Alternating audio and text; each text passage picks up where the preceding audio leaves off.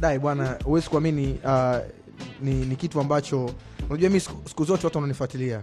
I'm always positive. Kwa sababu sioni sababu yoyote ya kuongea kitu kibaya. Kwa sababu unaongea kitu kibaya kwa mtu inamaanisha nia yako ni mbaya kwake. Mm, mm. watu wamchukie nini. Lakini jana nimepata dm uh, mida kama ya saa tatu usiku kuna msichana akaniandikia. Mi mashabiki zangu wengi wa mziki wavulana wapo lakini wasichana pia ni wengi sana. Mhm.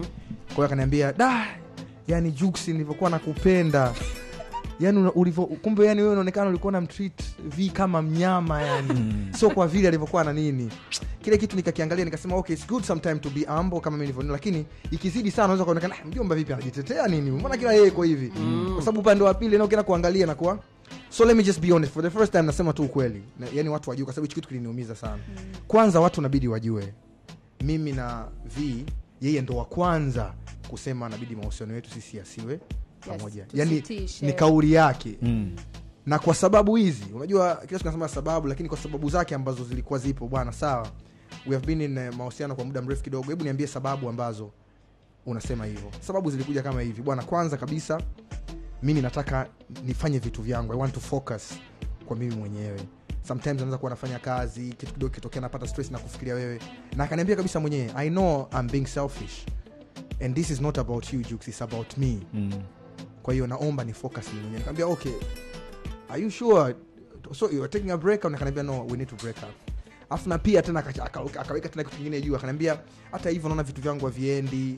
Even my pastor wa kanisani aliniambia sometimes mambo ya dini afu unakuwa na mwanaume ambao uko naye kwenye ndoa unaweza kuta vitu vinakuwa sometimes haviendi vizuri. So nataka nijaribu niwe clean kidogo ni sari nifanye kazi ni nini. Mi namheshimu sana mungu dazen sana. Mm. kwa hiyo nikasema bwana huyu binti nisiwe mi kuwa namnyimia riski mama kama ni hivyo basi ni sawa japo liniuma lakini sasa u, u, utaomba vipi msamaha kuna hizo sababu? Mm. kwanza mimi ni msichana wa kikristo nimelelewa sometimes unaweza bwana labda vitu vyako haviendi. Mm.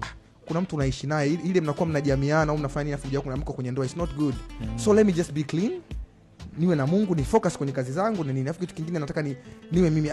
Kabisa kauli yake kwamba i wanna like i know I'm being selfish. Aliniambia kabisa hivyo Jux, this is not about you. Mm. wewe una kosa lolote. Hii ni mimi. Kwa hiyo ndio maana hata tulivyotengana Mm. tulikuwa tuko peace. Hiyo ndo kauli yake yeye ndo aliniambia hivyo. Sikupi- sikumpiga sikumcheat sikununiana naye i didn't do anything wrong. Jamani wale mabinti mimi sikufanya kitu chochote kibaya. For five years nimekuwa tu mwanaume mzuri ambaye nimecheza nime- pati yangu ambayo inavyokuwa sidhani kama mtu anaweza kuwa anaumizwa for five akawa yupo tu. I don't think so. Kwa hiyo hizo ndo sababu za kule ambao mi siongee uongo. Hata yeye mwenyewe kama huko alipo atakuwa nasikia interview atajua mi sidanganyi. Kama yeye kweli anampenda mungu. I didn't lie. That- kwa hiyo alivyoniambia hivyo kennedy ungefanya nini kwa hizo sababu